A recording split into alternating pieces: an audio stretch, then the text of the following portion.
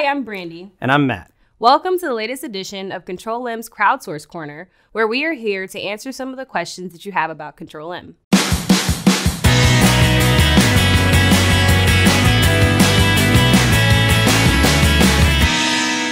Recently, we received a question asking, what's the effect of leveraging Control M's automation API in our environment? Brandi, you want to take this one? Sure, Matt. So we have a lot of use cases that our customer base has leveraged Control M's automation API in their environments and have had a lot of success from doing so. Some of these use cases are first jobs as code in the CI/CD pipeline. So being able to leverage jobs as code has a benefit of allowing your developers to be able to create their own workflows in the environment that they're used to, in the IDE that they're used to, and then push these workflows as code artifacts right along with their application changes through their CI CD pipeline. So, this has been very beneficial in kind of breaking down the barriers between the developers and the operations personnel in that DevOps environment.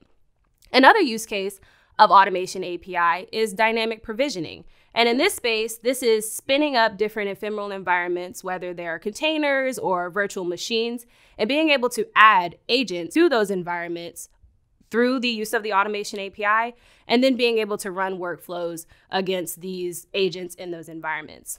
Another use case is big data.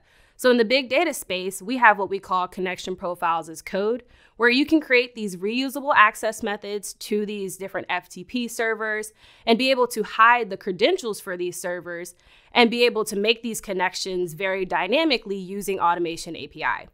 Lastly, is monitoring and efficiency. So that is once you have a workflow running or jobs running in your environment, being able to check the status, get the output and the logs of these jobs to be able to make sure that they're running effectively. These are all very important use cases that we've seen our customer base leveraging Automation API. Awesome. Thanks, Brandi. And, and again, I see a lot of that same kind of uh, success from our customers all the time. Thanks for joining us for this edition of Control M's Crowdsource Corner. If you have any questions you'd like answered, send us an email. Also, for a deep dive into how Control M works, check out the Connect with Control M series on YouTube or visit the URL right here. Thank you. Peace.